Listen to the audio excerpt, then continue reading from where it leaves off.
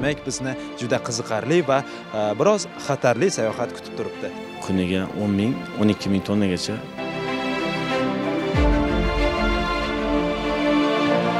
Biz uni haydovchisi bilan suhbatlashishga harakat qilib ko'ramiz.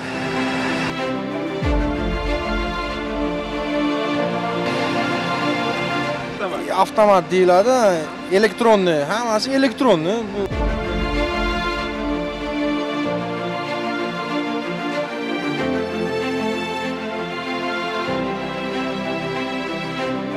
demak sayohatimizning kulminatsiya nuqtasiga ham yetib keldik.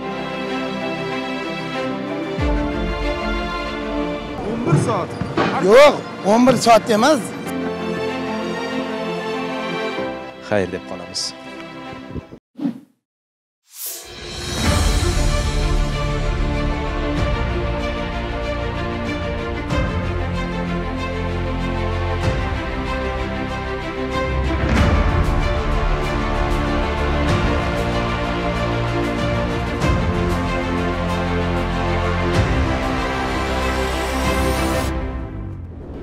assalomu alaykum aziz vatandoshlar. Э, men ko'ryapsiz maxsus kiyimdaman. Nega bunday deb э, hayron bo'layotgan bo'lsangiz kerak.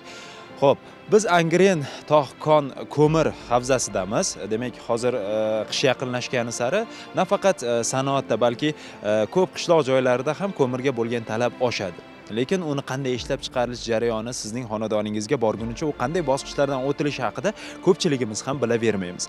Hozir aynan mana shularni bilish maqsadida bugun e, ko'mir koniga sayohat qilamiz. Demak bizni juda qiziqarli va e, biroz xatarli sayohat kutib turibdi. Tayyormisiz?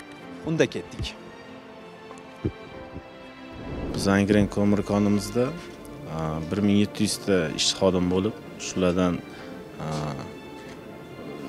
bir yuz o'ttiztachasi injener texnik xodimlar qolganlari mana shu eks- mashinist ekskavatorlarimiz shu xizmat ko'rsatish xodimlaridan iborat bo'ladi. Biz angren ko'mir konimizda ish yigirma to'rt soat davomida tashkil qilingan. Bu kunduzgi va kechqurun smenalarda edi va bizda hozir ayni paytda angren ko'mir konimizda bir kunlik ko'mir qazib olishimiz kuniga o'n ming o'n ikki ming tonnagacha toza ko'mir e, qazib olinyapti va iste'molchiga yetkazilyapti.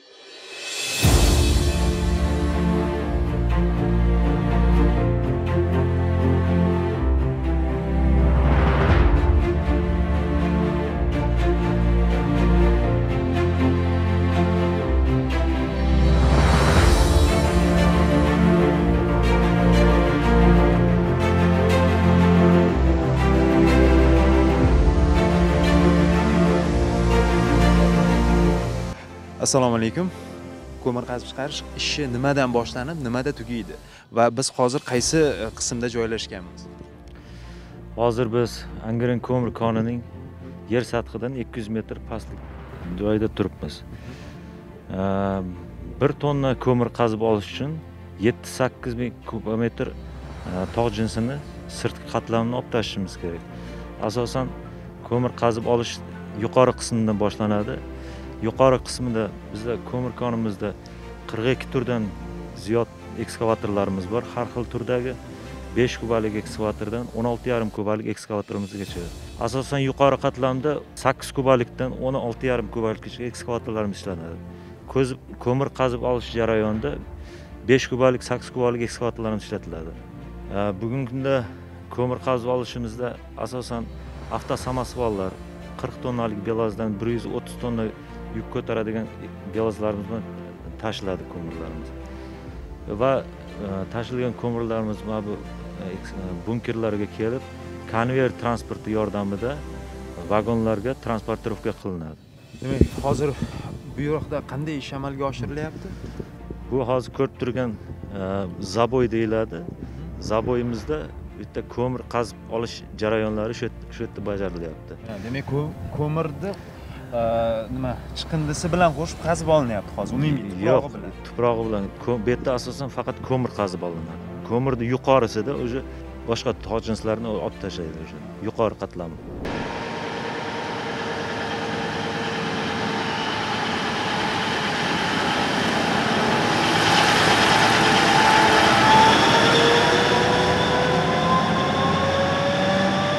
ekskavatorlarda qazilgan e, ko'mirlar mana shunday bahaybat mashinalarda e, kerakli joyga tashiladi. Hozir ushbu mashina haqida ma'lumot olamiz va uni haydovchisi bilan suhbatlashishga harakat qilib ko'ramiz.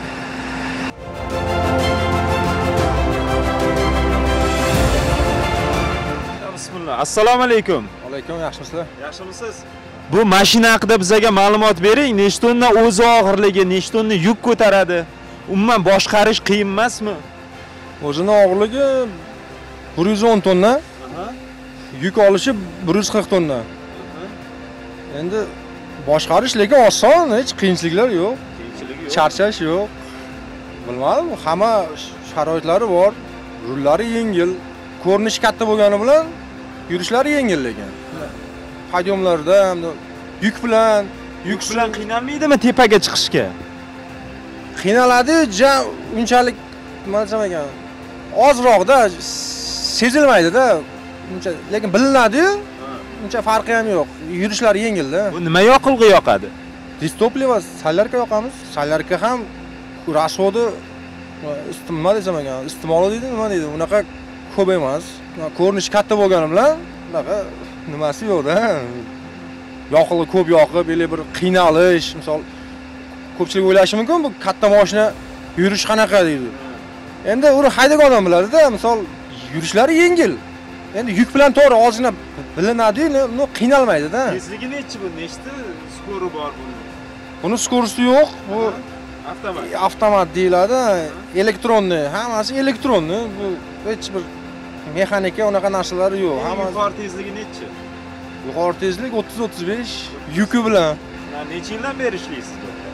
o'n yilga yaqinlashib qoldi bunga ham alohida prava kerakmi yo o'sha oddiy haydovchi? Yo'q kerak kerak. O'zimizni o'zbek ko'mir orqali uch endi sentrlarimiz bor. O'sha o'quv markazlari o'sha yerda katta belazlarga endi har xil borku bu yoqda belazlar o'shalarga pog'onama pog'ona o'qitadi. Lekin haydovchi guvohnomasi kerak.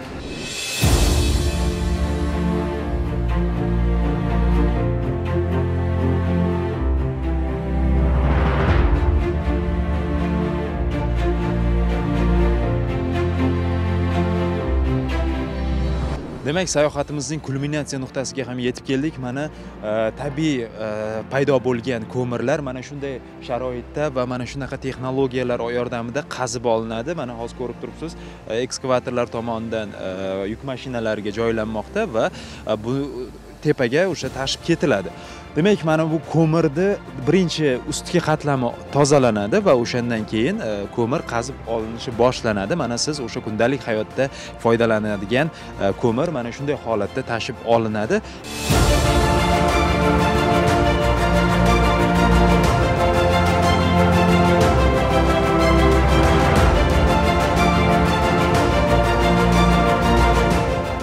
Demak biz so'nggi obyektga ham yetib keldik. Hozir pastdan 220 metr 230 metr pastlikdan qazib olinayotgan ko'mir maxsus belarus e, rusumli yuk mashinalarida mana shu joyga keltirilar ekan va bu joydan e, mana shu ekskavatorlarda demak bu ko'mir saralanadi. Mana hozir o'zingiz ko'rib turibsiz mana bu ishchilar hozir ko'mirni alohida va ko'mirni ichidagi toshlarni alohida qilib ajratishmoqda va tepaga esa ko'mirni o'sha mayda qum zarrachasi e, tepaga qarab tashib ketilmoqda. Hozir ushbu ishchilar bilan suhbatlashishga harakat qilamiz.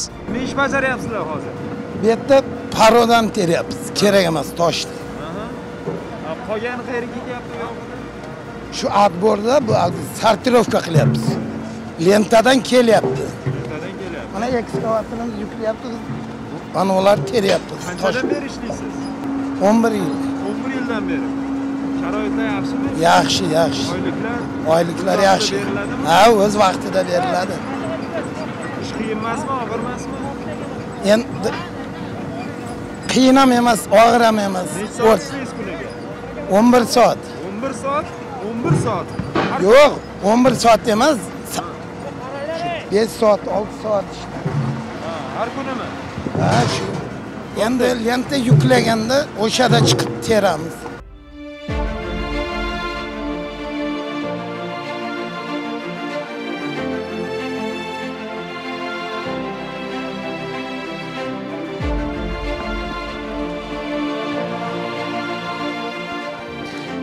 mana so'nggi manzilga ham yetib keldik. Siz bilan xayrlashamiz.